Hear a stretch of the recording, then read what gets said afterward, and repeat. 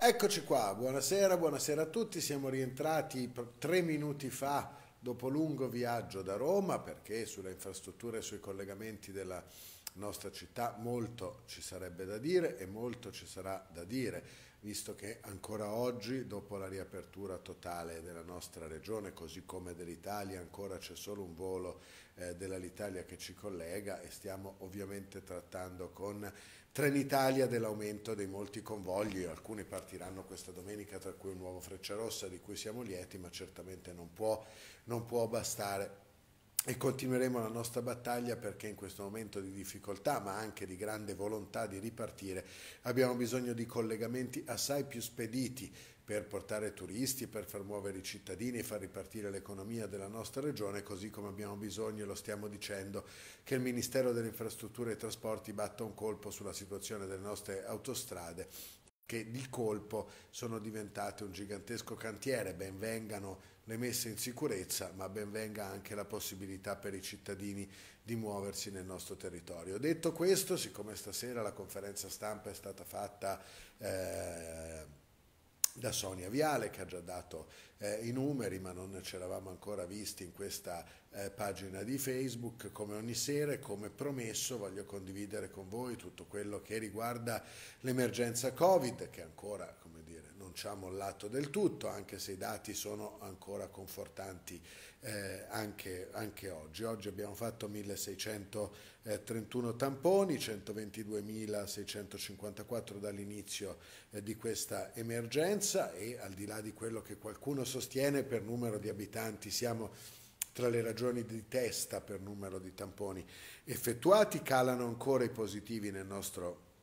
territorio eh, regionale, sono 2167, 37 meno di quanti non fossero ieri, secondo quello che invece è il bollettino tradizionale della protezione civile, stessi dati comunicati da noi ma scritti diversamente, oggi abbiamo solamente 10 contagiati in più e credo che questo sia un numero eh, significativo e confortante. Calano un po' in tutti i territori, come diciamo spesso, 322 a Savona, solo 65 a Spezia, 228 a Imperia, 1550 a Genova, che è stata la quarta, la quinta città per numero di contagiati di questa emergenza e quindi se essersi ridotti a meno della metà è un numero ovviamente significativo. Calano ancora il numero dei ricoverati,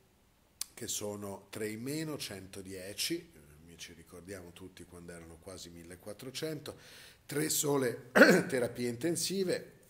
e questo ovviamente ci eh, conforta, calano anche gli asintomatici, ovvero coloro che fanno la malattia a casa che sono 34 in meno e crescono i guariti con doppio tampone positivo che sono 46 in più e raggiungono 6183. Bene, un ottimo risultato. 447 sono i soggetti in questo momento in sorveglianza attiva sul nostro territorio regionale, molti meno, siamo arrivati ad averne molte migliaia e quindi direi che eh, anche questo dato è coerente con tutto quello che ho detto fino adesso e per fortuna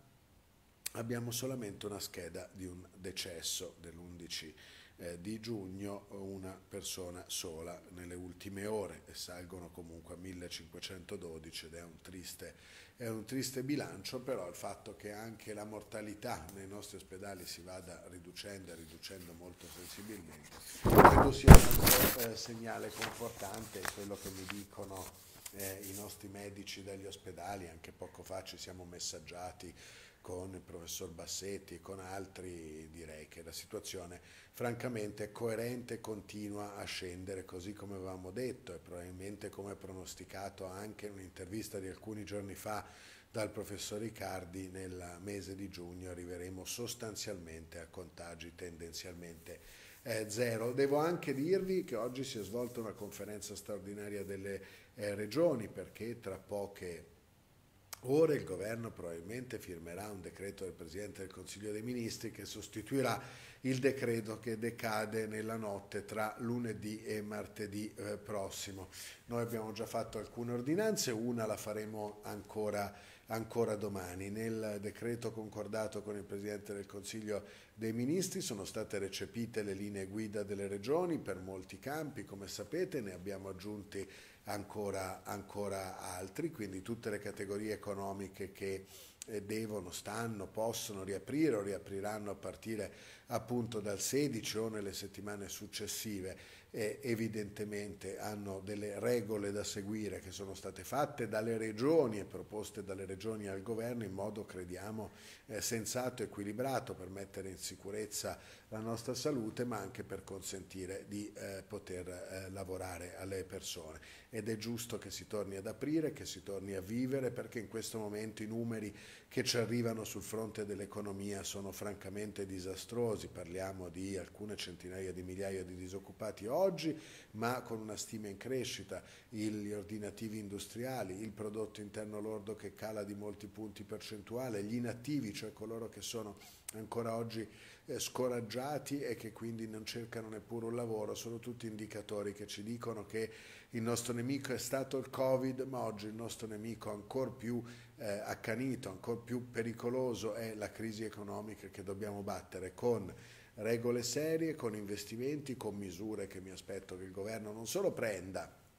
ma soprattutto applichi perché è inutile prendere cassa integrazione, è inutile prendere sussidi, è inutile eh, decidere aiuti alle imprese che poi di fatto non arrivano e questo è un grande tema ovviamente di, di queste ore. Comunque dal 15 si ripartiranno, noi abbiamo già detto che in Liguria potranno partire ad esempio le sagre, c'è il tema delle discoteche e del gioco eh, legalizzato che è stato affrontato oggi, le cui linee guida delle regioni approvate oggi dovrebbero essere recepite nel decreto del Presidente del Consiglio dei Ministri che prevede, è vero, che discoteche locali da ballo e sale giochi eh, ripartano solo il 15 di luglio, questo decide il governo, ma dà anche la possibilità alle regioni di aprirle in anticipo, cosa che noi abbiamo intenzione di fare. Domani ci sentiremo con molti governatori delle altre regioni per trovare una data che sia coerente, omogenea e che sia ragionevole per tutti.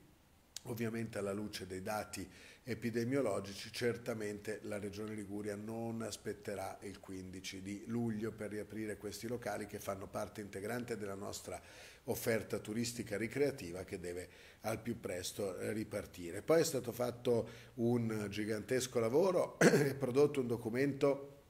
cosa importante riguarda settembre, ma settembre è domani mattina e dopo l'odissea vissuta dai nostri figli e dai nostri nipoti nelle scuole, dalle loro famiglie, credo che sia opportuno dare dei segnali di tranquillità e tranquillizzazione. Allora abbiamo approvato un documento scuola che prevede delle linee guida per i ragazzi che torneranno, anche queste fatte dalla Commissione Tecnica delle Regioni che ha fatto uno straordinario lavoro e che abbiamo mandato oggi al Governo per aprire con il Ministro Azzolini, speriamo in tempi molto molto rapidi,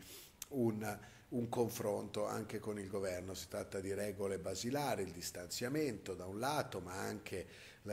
l'uso delle mascherine solamente quando ci si alza dal banco e non costringere 5 ore i nostri ragazzi a stare con la mascherina seduta al banco. Abbiamo dato alcune rassicurazioni per quanto riguarda ad esempio le mense scolastiche che potranno riaprire, ovviamente con tutte le precauzioni e le regole eh, dell'attenzione che ci sono anche nei ristoranti e negli altri locali pubblici, ma è giusto che i ragazzi che vanno a scuola possano avere un pasto caldo, cucinato secondo eh, criteri nutrizionali seri e non doversi portare, come si dice, il panino da casa e quindi questo vuol dire anche ovviamente dare qualche certezza alle molte migliaia di lavoratori delle mense scolastiche che eh, potranno tornare a lavorare perché se da prima nelle linee guida, nelle prime versioni delle linee guida nazionali si escludeva la possibilità di riaprire le mense, noi invece come regione abbiamo deciso come conferenza delle regioni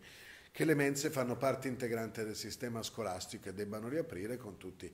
gli elementi di sicurezza. L'ultima cosa, domani mattina una cosa importante, presenteremo una grande campagna di promozione del nostro territorio che vale molte centinaia di migliaia di euro, la più grande mai fatta in Liguria su tutti i media eh, nazionali, televisione, giornali, stampa periodica, stampa quotidiana, internet, Facebook, un lavoro gigantesco fatto dall'Agenzia Turistica in Liguria, dall'assessorato eh, al turismo che speriamo possa essere proprio in queste giornate in cui i cittadini italiani decidono quale sarà il loro prossimo futuro. Eh, ieri c'è stato l'ultimo giorno di scuola anche per le lezioni di didattica a distanza, quindi eh, mamme con i figli, persone che vogliono lasciare dopo un lungo inverno e una lunga primavera, anche cupa, eh, le loro città per qualche giorno di svago, speriamo tanti che vogliono prendere una boccata d'aria nel nostro straordinario straordinarie coste, anche oggi eh, molti indicatori ci dicono che il mare più bello d'Italia è quello della Liguria e anche questa pagina Facebook ne avete avuto ampia testimonianza con delle bellissime foto, quindi domani mattina presenteremo anche questa campagna e poi presenteremo, è già stata presentata agli operatori turistici, la presenteremo alla stampa e poi ci sarà una serie di incontri sul territorio, io per esempio già lunedì prossimo sarò eh, nel Ponente Ligure per incontrare sindaci, eh, operatori di categorie per vedere come sta andando questa eh, grande riapertura della nostra regione e del nostro paese. Queste sono in sintesi le cose nuove di oggi, ci tenevo anche a chi ci segue con affetto su questa pagina eh, Facebook a dargliele personalmente, anche se a un'ora un po' tarda, ma sono arrivato solamente adesso eh, a Genova dopo una giornata a Roma dove abbiamo eh, riaperto la sede di Regione Liguria, riallacciato i rapporti che il eh, virus, il Covid e la chiusura delle aule parlamentari avevano eh, ovviamente eh, interrotto, ci siamo occupati di incontrare imprenditori, persone, oggi ho incontrato anche una grande casa di produzione cinematografica e televisiva che vorrebbe girare una grande fiction eh, nel nostro territorio ligure, speriamo si possa concretizzare, che vuol dire posti di lavoro in questo territorio, vuol dire pubblicità per il nostro, per il nostro territorio. Insomma, stiamo tornando tutti pian piano alla vita normale, credo che sia esattamente quello di cui la Liguria e l'Italia hanno bisogno perché eh, in questo momento altrimenti ripartire sarà sempre più difficile. Io vi auguro una buona serata e lavoriamo un po' e poi stasera chi vuole seguirci ci trova anche ospiti di Paolo Del Debbio su Rete 4 intorno alle 11, 11 un quarto che parleremo proprio ancora dell'emergenza Covid, del fatto che questa sta eh, certamente scemando e di come talvolta qualcuno ancora oggi gioca a calcare la mano, a instillare paure, mentre invece questo paese ha bisogno di notizie vere, certe e di tranquillità, insomma eh, una, un derby un po', un po' macabro, certamente inutile tra chi eh, cerca, si impegna, sapendo ovviamente di eh, dover affrontare ancora dei rischi davanti a far ripartire questo paese, chi invece forse per interesse, forse per paura, forse per talvolta malinterpretato spirito di sicurezza continua invece a calcare troppo a mio avviso la mano eh, sulla paura, mentre invece in questo momento abbiamo bisogno di dare a cittadini, imprenditori e famiglie fiducia, fiducia nel futuro, fiducia nel nostro sistema medico, fiducia sul fatto che il Covid sta calando, fiducia sul fatto che il Paese e la Liguria ce la faranno. Ci vediamo per chi vuole più tardi e chi non va a dormire, io riprendo possesso del mio ufficio dopo 24 ore, perché tante sono state a Roma, perché tante cose abbiamo da fare. Ciao a tutti.